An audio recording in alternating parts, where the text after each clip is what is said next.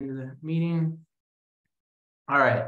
Well, thanks again for joining. Um, tonight, we're going to be talking about everything you need to know to buy your first home, things to do to prepare to buy your first home. There's a lot of, uh, you know, people that are discouraged out there, and we're gonna we're gonna go over everything to kind of uh, cater you along with uh, understanding that it is possible to buy a home. So, real quick, a little bit about me. My name is Steven Cozza. I'm the founder of the Cozza team, and um, I was professional cyclist over in Europe for a decade before I came back to Sonoma County to uh, to be a real estate agent. And um, now I've got the Cozza team. Started that um, about 11 years ago, and since we've been helping buyers and sellers buy and sell homes, I've been uh, supported by Stuart and his help with uh, our buyers borrowers uh, loans to buy homes. So it's been awesome the the help from someone that's a friend, but also someone I trust and is on it. So thank you again for coming and being a part of this. Thanks, Steven. And I'll just kind of mention what uh, um, a little bit about me. I've been in the business uh, uh about 30 years. Um, uh, and uh, closed over 1.2 billion in closed transactions. I've worked with Steven uh, what about 10 years now. Yeah, I think we've been working together. I've done a lot of first time home buyer, um, you know, first uh, entry level buyers into the market, and can definitely uh, touch base on the financing for that, and kind of answer any or just go over what the uh, you know uh, how that all works, and and uh, you know hopefully answer any questions anyone may have regarding financing. Awesome. All right, so we're gonna jump right into it. And if you have any questions feel free to comment and we'll answer those questions at the end. Um, so let's see, let's jump right into it. Um, we're glad to have all types of buyers here, but definitely this is a first time buyer, um, you know, class. So whether you're renting and you're low on funds for the down payment, but you have a good income, you could be one of those people. Um, you could be someone who's re uh, renting with, you know, funds for the down payment, but you fear home ownership. So that's another thing that's going on right now, um, especially with millennials because they kind of they lived through the hardships of 2008 and we'll cover all that and then um, let's see we're going to cover renters that want to invest in real estate but need to keep renting so we'll cover that kind of a situation and then renter uh, living in a home with roommates so we'll talk about tricks and tips for being able to buy uh, with different situations all right so let's switch that one all right tonight we're going to talk about we're going to definitely go over a market update. The first thing anybody ever asks us, usually when I'm walking around town, is how's the market? And um, the next thing we're going to cover is interest rates. So we'll go over the interest rates. That's going to be Stuart's uh, cup of tea. Uh, rent versus own. You know, what are the benefits of home, ownership, tax benefits, et cetera, and what are some of the downfalls of it? And then how to buy um, your own home uh, with types of loans, um, going over the PITI, tips and tricks, savings for down payment, and alternative down payment funds. So we're going to cover all that. All right. All right. So um, let's see. Okay, next thing. Be fearful. I love this. This is a Warren Buffett quote. Be fearful when others are greedy, and greedy when others are feel fearful. And right now is a time where people are definitely fearful. What are you, are you hearing that with borrowers? Oh yeah, no, that people are definitely uh, fearful right now. So the home prices, uh, interest rates, cost of insurance, you know, things like that. But we can definitely um, talk about those and and what the numbers are and and uh, kind of put shed some light on where that is currently with the market. Yeah, definitely. The fear, the perspective is like a huge thing that can control what happens with the housing market. And um, I can't wait to show you guys a graph that I actually pulled off the internet this morning. And it talks about the cost of renting or buying from 1970 till now. And you're going to see this graph that's like, it actually looks scary, but we're going to explain why it's really not scary. Um, and it's all about perspective. So, um, yeah, so how's the market? Real quick, supply and demand is always an issue. Um, right now, inventory is low, mm-hmm. and you know it's going to be low for a long time. Because think about this: if 30% of homeowners in America have an interest rate lower than 30%, and so many have an interest rate lower than 3%, three to five percent, they don't want to sell right now because they have a great interest rate. Um, so that locks up so much inventory. But it's a great opportunity for people that um, are still in the market wanting to buy because the rates are higher right now and you have less buyers because there are less of that. buyers, yes. Um, but you can always refinance. So we'll go into all that. Um, past and present and future. Um, you know, you're going to see some graphs that show what happens during slight recessions, corrections, and all that, and then what it means for long-time home ownership. So um, we're going to go into all that. This is a really neat graph. I love it. It's one of my favorite ones since I got into real estate. Every year I look at it. It shows the median home price um, over a long span time period. So this is from 1990 all the way till 2023. And you can kind of see here all the ups and downs and dips. And when you own a home, it's it's a long term investment. You know, anywhere from six, seven. Average homeowner has their home for about eight years. Um, but this graph is really interesting because people fear the market crashing right now, and in the in the history of the U.S., you know, the nation, that's only happened over the past 30 years, 40 years. It's only happened a few times, and they're little blurps. They're little small ones. This was a big one. That was because of the, the housing subprime, subprime mortgage crisis. Yeah. Yep, really, you know, bad loans and uh, low low down payments. Uh, if you watch The Big Short, it goes over all that. But we're not facing this right now, and we were talking about today at our um, team meeting because homeowners have equity in their money, so in their homes. So if they bought here, look at all this equity build they have.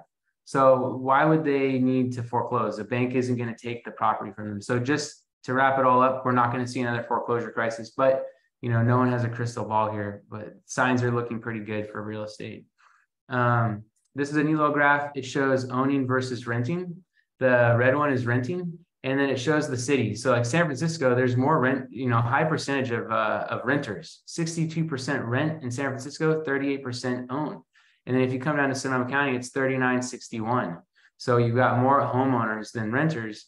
And this graph has definitely gone, the renting has gone way down. You know, since when my parents were buying the baby boomers, a lot of them owned homes and, you know, they worked to buy a home. And now it's, you were getting kind of this like renter generation. Um, but it doesn't need to be that way. So we're going to kind of, you know, change some of those myths and give you some hope here. Um, I can remember when I was in high school, my grandma, she wasn't really my grandma, but she kind of was my grandma. She wasn't related, but she was basically like my grandma. She invested in real estate. She saved all her money, bought one rental after another. And I remember saying, I want to be like Sylvia. And so right out of high school, my goal was to save money and buy my first home. I was like determined to, because I, I, realized how important it was for home ownership. And um, you guys can do that too. You, it's it's never too late to to start saving and to start coming up with a plan. And after this, we're going to invite you to to have a meeting, have coffee with us, meet with Stuart, and come up with a plan so that if it's now three years, five years, 10 years down the road, you have a goal and a plan to where you can buy a home, whether it's here, out of state as an investment property or whatnot. We're going to help you sort out what you want to do. So, interest rates, let's go all into that real quick. Uh, interest rates are nuts right now, but what does it mean? What are you seeing? What's going to happen in the future? So uh, lately, right now, we're pushing seven percent on interest rates. You can still get six percent, uh, high sixes, um, depending on which lender you go through. But you can still get the high sixes with FHA, which is first-time homebuyer um, uh, product, and also conforming, which is Fannie Mae, Freddie Mac. Um, and so uh, that's about where the rates are at. They're they're averaging, I think, around seven point three percent.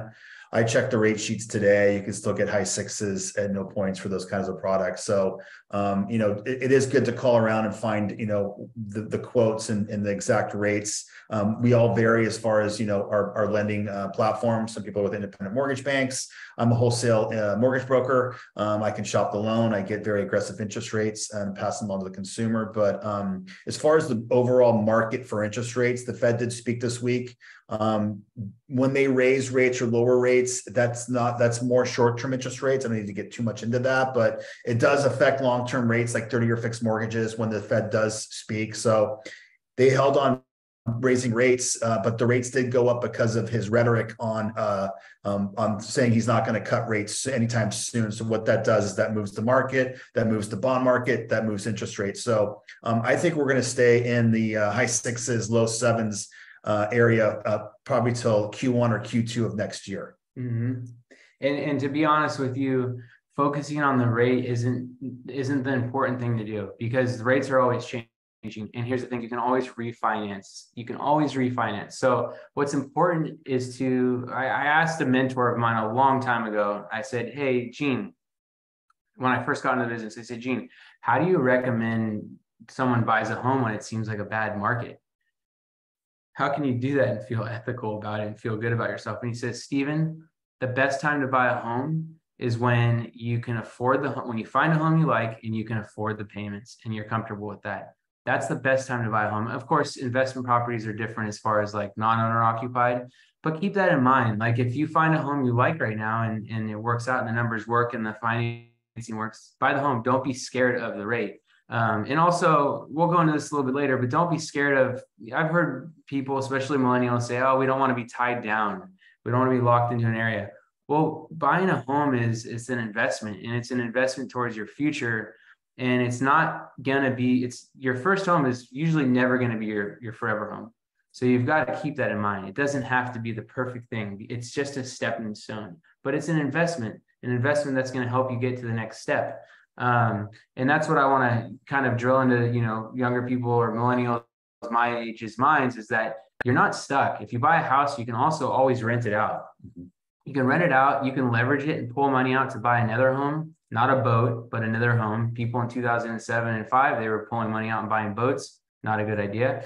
But you can pull money out maybe to do upgrades and so forth. So it's such a good idea as far as actually not being stuck. Getting stuck is when you get you you're told by your um, they're not called landlords anymore. They're called housing providers.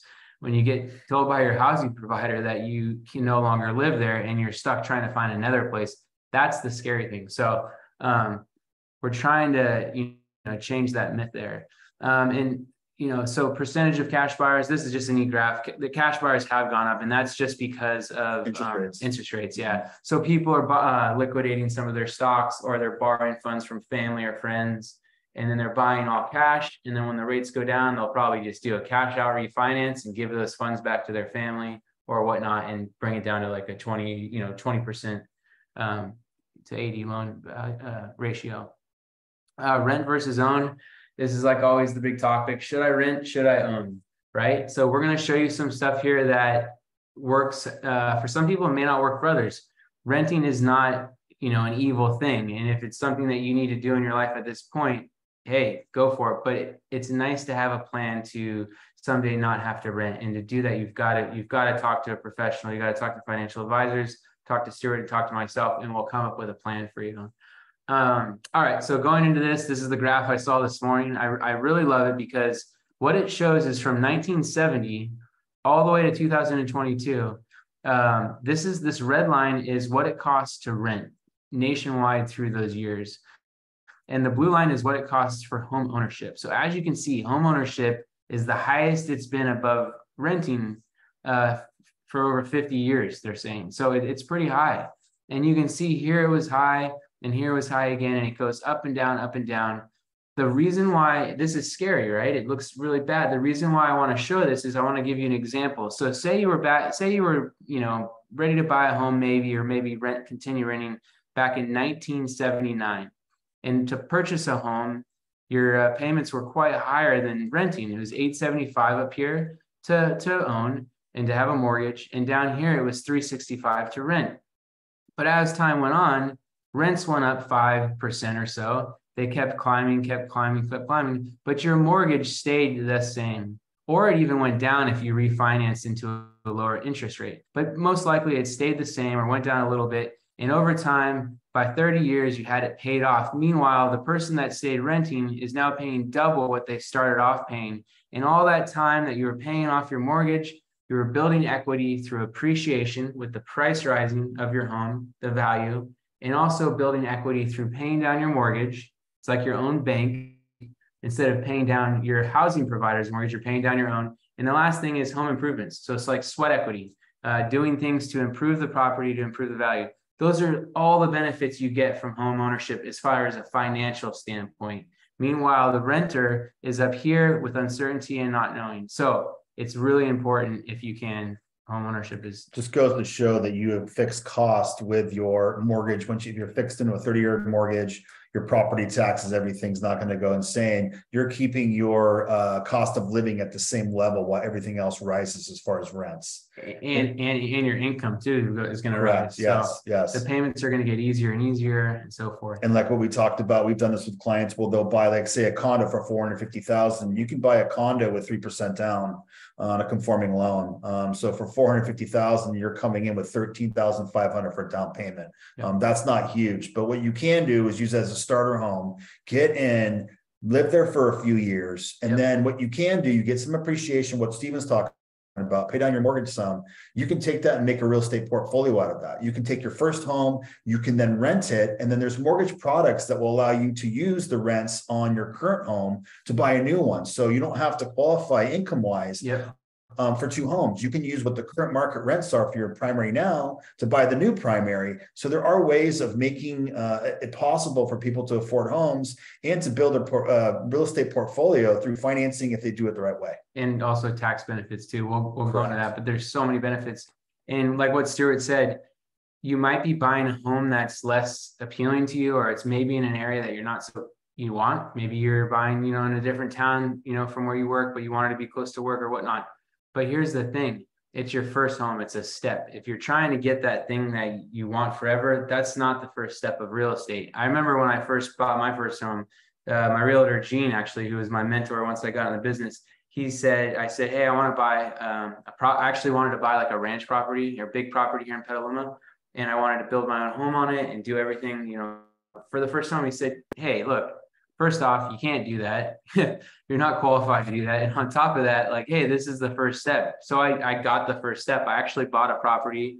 Um, it was an entry level home here in Petaluma and I ended up living in it, renting it to friends. And then um, eventually we all moved out and I rented it completely. And then eventually after that, I sold it and invested it, uh, 1031 it into another property. And so it's one of those things where you just got to start somewhere, right? So I'm really glad you brought that up. Yeah, no, that that that's a big key for for for that because you can get into homes and then you don't have to sell them. I mean, some people do. If you have appreciation, you need that, you're relocating or something, you can do either, but you can keep that home and you can rent it out. And Yeah. a lot of times you'll cash flow on it.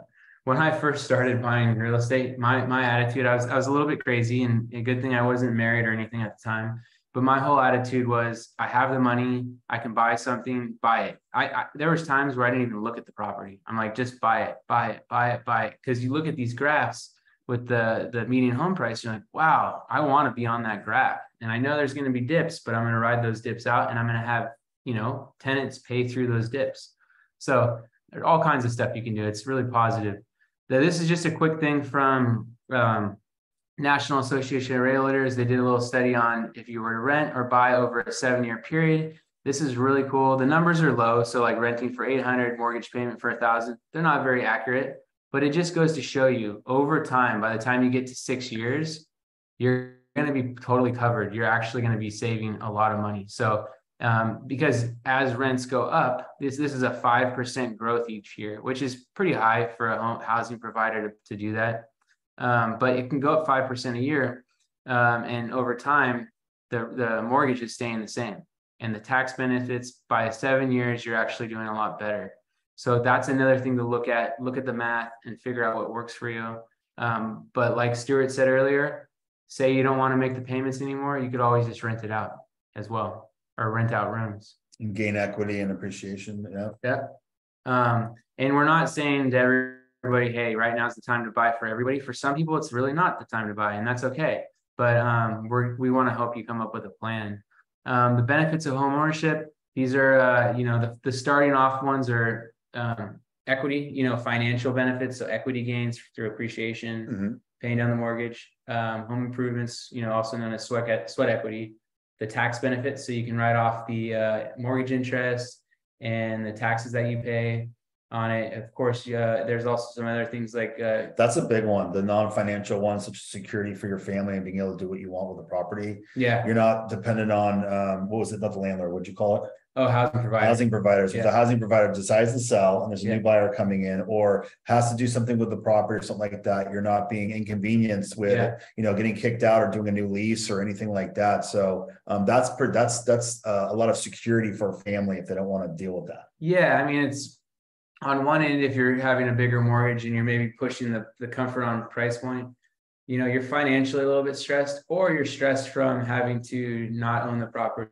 and potentially maybe you don't know when they're going to give you a notice to leave, to sell, to, you know, rent to their family member, who knows? Right. Um, you know, owning your own home also can lead to feeling more connected to your neighbors and your community. So Mhm. it's very it's very rooting and it's um it's like it's like uh, I call I call my house my base camp.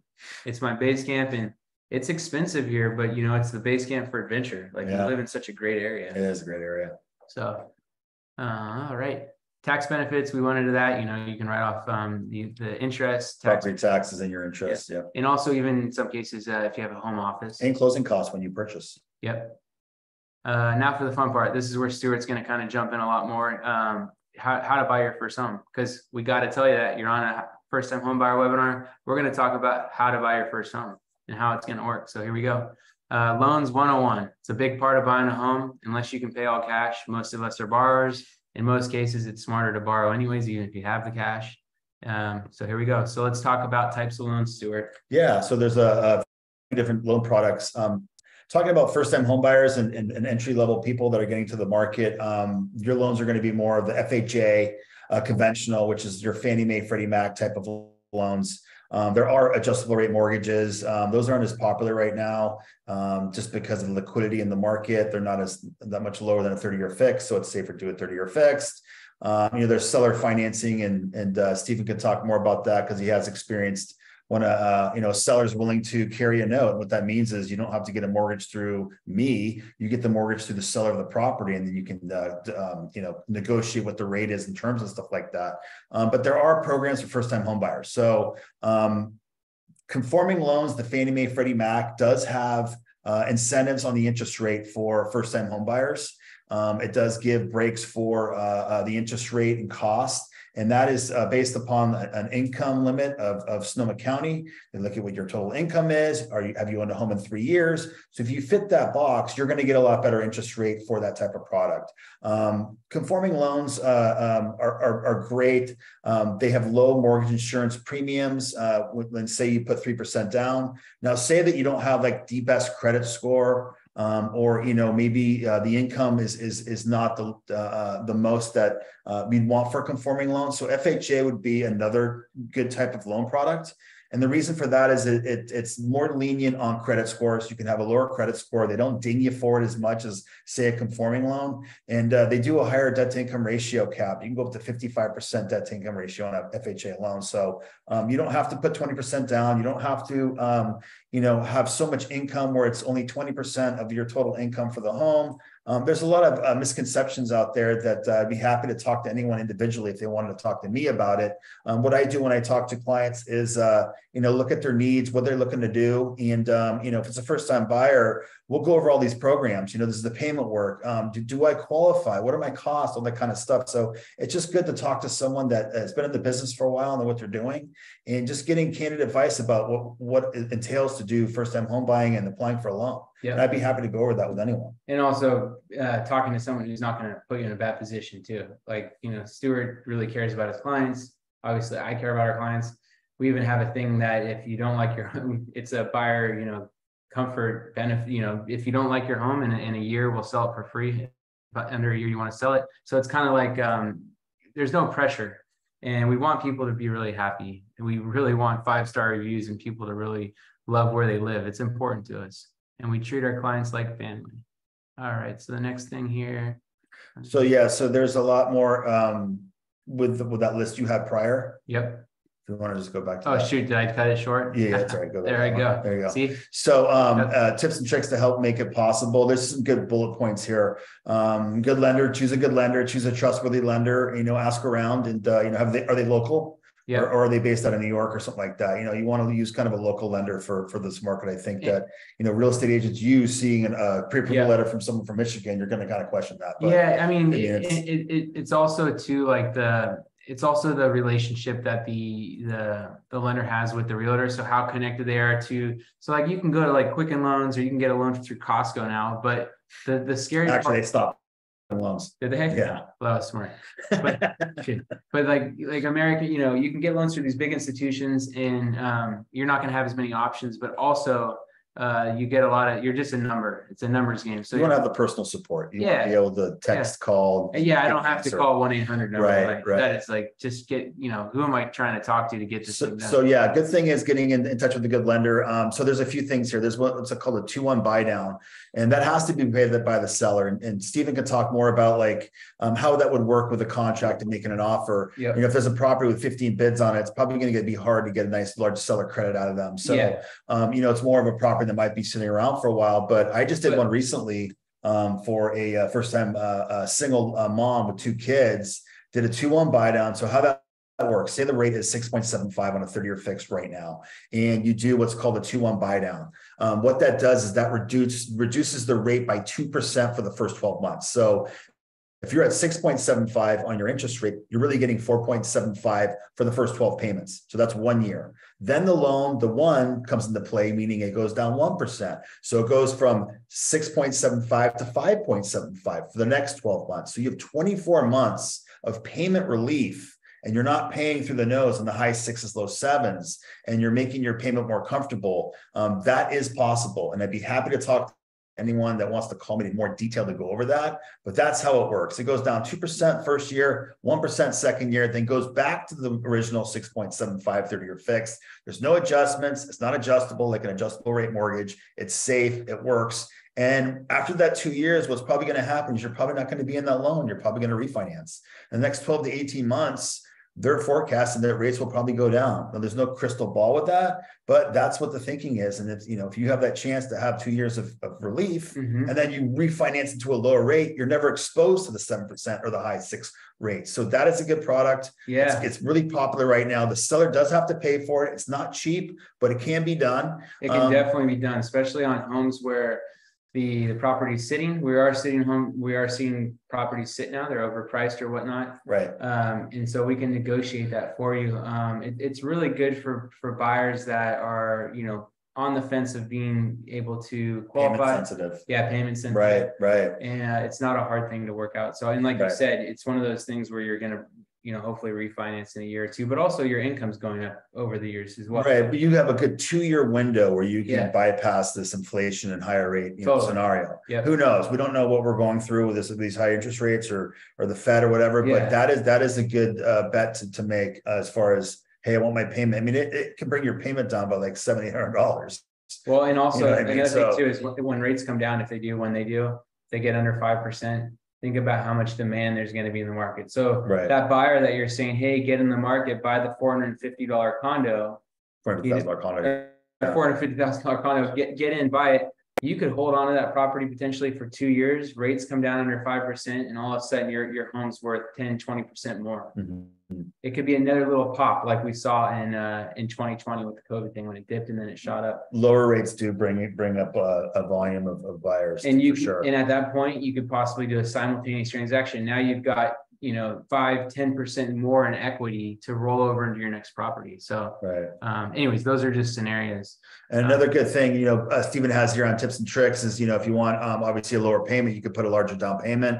Um, you know, we can get more of, uh, you know, uh, gifts and stuff like that, which is on there. And I can talk about that. Um, I have ways of, of, uh, looking at your credit report and seeing how to get your credit score up. Um, there's, there's some easy ways of doing that. Um, just by looking at the credit report might take six, 12 months for that to happen, but I could be happy to do that with people. So, so if someone here, uh, want, you know, comes with you, meets with you and their credit is, you know, what's, what's a bad credit score? What's In the the fives, if you're in the fives, uh, what I would do is look at your credit report and say, you know, do you have any old collections that you could take off? Um, is there, is there anything that you can negotiate? Sometimes you'll have a credit card that's in a, what's called a charge off, charge off stage. Where you can call them and negotiate for less, less than the full balance. So if you do that homework and you really hammer the phones and call the- these, these, you know, collection agencies or even, you know, the credit card company, you can work on that and get them, you know, paid, paid off. So that status on your credit report's done. So that improves your credit. And I'd be happy to go over that later. Um, that obviously lowers your debt, which helps, you know, the mortgage rates. Mortgage rates are very based off of, of uh, uh, credit scores. So the higher the credit score, the better the interest rate, you know, so that, that does So help that, work, on that, start on it now, meet with, certain learn how to do that, learn what you need to do. Right? Um, really good tips there. I, Right. I've been very close on my credit score with, you know, getting that higher rate and it's like, man, I'm so glad I had good credit. Right, right. It's off, it's a, you know, big deal. And then cosigners, cosigners is a good thing as well. Family members, uh, you know, um, friends that you want to buy a house with, you can do that. There's a different types of co-signers. There's non-occupant co-borrowers, meaning the person's not going to live there, but they they help help you uh, qualify for the mortgage if your income's not there. There's a lot of different ways to qualify what that means. Um, Can you co-sign with a friend? yes, So yeah, you can yes. If co-sign. we- yeah, if you want to live together, you could you co-sign with friends. So for example, say you're sharing a uh, a home, you know, four bedroom house with four roommates and you're all renting and one of those people can qualify, then they can buy buy a property and then rent out those other three, have their have their uh, friends rent from them instead of paying the, the landlord. So that's an awesome idea right there, just to get into the market and start with real estate. Um, you could also buddy up with a friend and co-sign to get and do it together. a house together, or you know, the, the person doesn't even have to live there. You can still buy it together and just co-sign. Yeah, they could be on title. You can put it how much Right. they're on title or whatnot by a certain percentage. Do you see that a lot where friends are co-signing and I do. together? I, I see a lot, people, a lot more people coming together and pooling and Yeah. co-signing together to buy something. Cool. Families, friends, um, you know, just, just so they can afford it. So Make it possible. Yeah, so that financially they can make it possible. Yeah, Um, another thing is gift, gift funds. Um, that's, a that's a, a big thing I'm seeing now from parents. Uh, the gift funds do have to come from a family member. Um, but you know, gift funds can be, you know, say someone's buying a home for five hundred thousand and the parents help them with a hundred thousand dollar gift. That's really nice. Not everyone has that, that luxury. yeah, But, but, uh, you know, I do see that a lot with parents and family, grandmother, grandfather, uh, uncle, you know, cousin can help with that as well. So, yeah, um, there are ways of qualifying if you don't have enough money and if you don't have enough income, but you have family support, you can make that work. sometimes they need that little boost. We didn't talk about this too much and it kind of reminded me, it's, it's, it's a different thing, but I've, I've seen it down on properties. If, if you're handy, if you're someone that likes to do the work and the sweat equity, there is a thing called a renovation loan. And that is interesting to some buyers because I, we have these first time home buyers that come and, you know, they say, hey, we want to find a place that we can put some work in it. We're okay with it looking ugly. So there is also the renovation loan and too much to go into now to talk about that, but Stuart will go over it. There's pluses and minuses. Right, right. And then we talked about the seller financing. If the seller of the property is willing to finance the note of the mortgage, you don't have to go through me, that's, that's a good deal. That's- do that. That's becoming more, that's becoming more popular. You can get a better interest rate with seller financing. And sometimes, here's another thing, say the property's worth seven hundred thousand. And you only wanna, you know, you can only qualify for the, a good rate if it was like, say, six fifty. Well, you could sometimes, we can sometimes make it so that the seller will be a second on the seller financing Mhm. and then do it that way. Um, it'd be a higher rate probably, but it makes it possible for Seller carry second. Yeah, I've, I haven't seen those in a few years, but yeah, you can do that. Yeah, Yeah.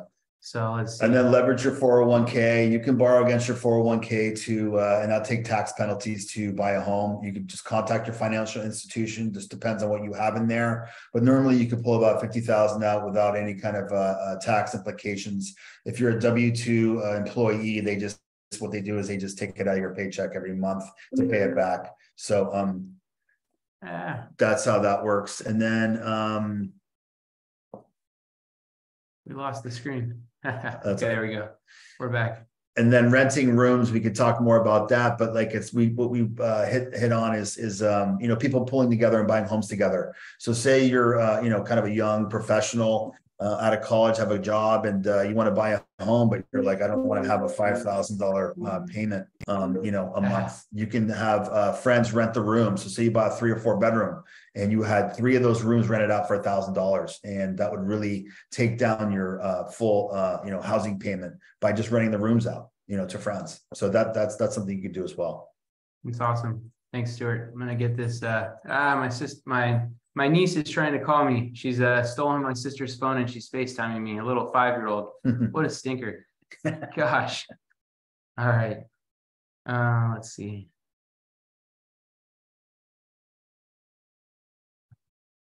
Okay, so the next thing we're gonna go to, I don't know what happened to my slide here. One second. I got a little discombobulated here. Oh, Ellie. All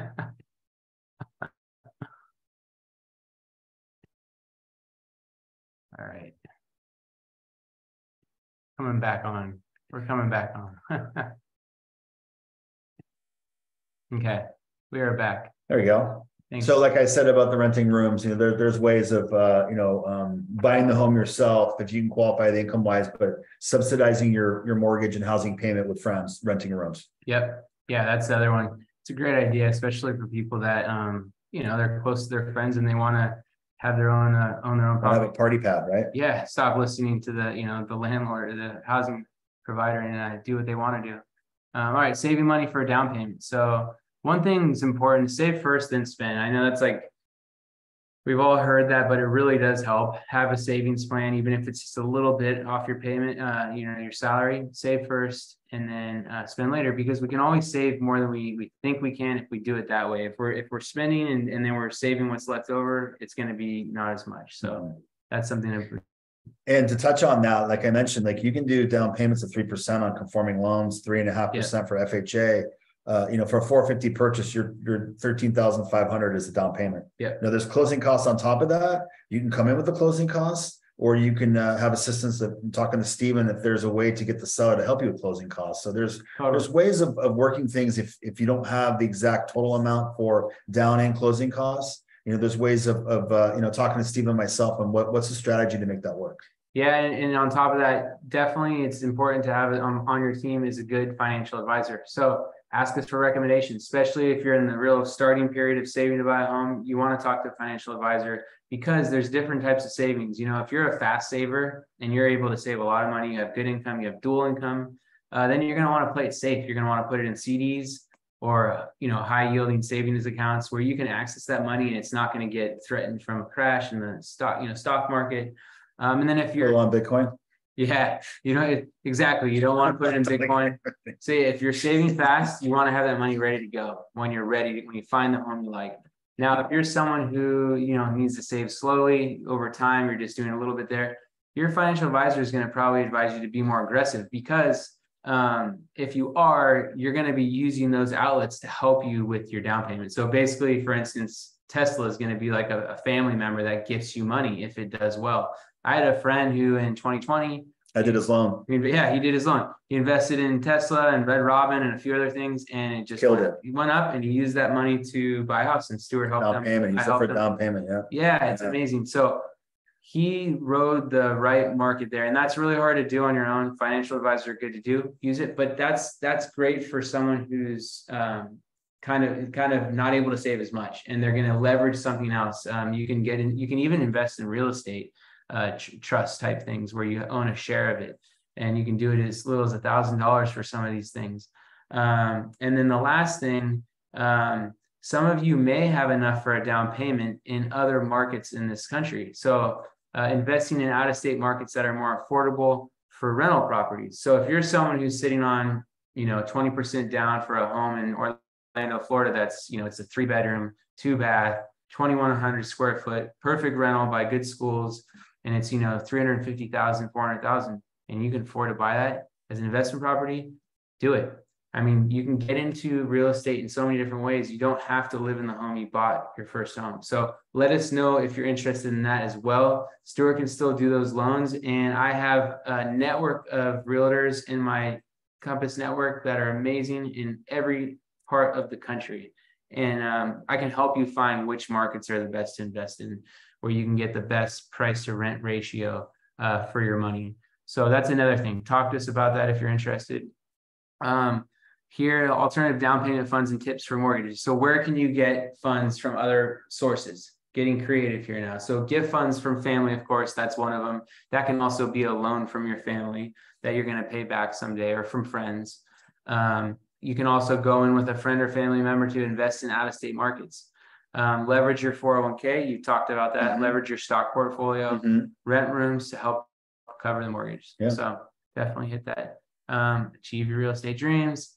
Thank you so much, you guys. Um, that does wrap it up. Um, I'm just trying to think if there's any further remarks. If you guys decide to um, meet with us, work with us, uh, for anybody who is on this webinar, um, Stuart's going to give a $2,000 credit towards your closing costs when you purchase your first home. Um, we're obviously going to give you VIP service. We love all our clients. We take very good care of them, and we have a full team to back them up. Uh, you're going to have access to off-market listings. Buyer, we have our buyer satisfaction guarantee, where if you want to sell if you're not happy there within the first year, we'll sell it for free. And then there's the competitive offer guarantee, where you can make offers with no loan contingency, no appraisal contingency in a lot of cases. So we'll go over all that with you. But the first step is make an appointment with Stuart. His contact info is being blocked by my my little thing there. But um, we're both here uh, based in Petaluma, but we work all over uh, the North Bay. All right, and Stuart works all over the everywhere. for real estate, it's a little bit more, you know, where is my zone, where, where am I experienced in the neighborhoods for, um, you know, loans, it's a little different. So. Right, right. Um, but thank you so much. Appreciate it. I'll send a follow-up email to all of you with the recording of this if you want to share it with friends or watch it again. And um, you'll have our contact info there too as well. So Thanks, Steven. thanks, Stuart. Yeah, appreciate it. Appreciate it. Have a good night, everybody. Bye-bye.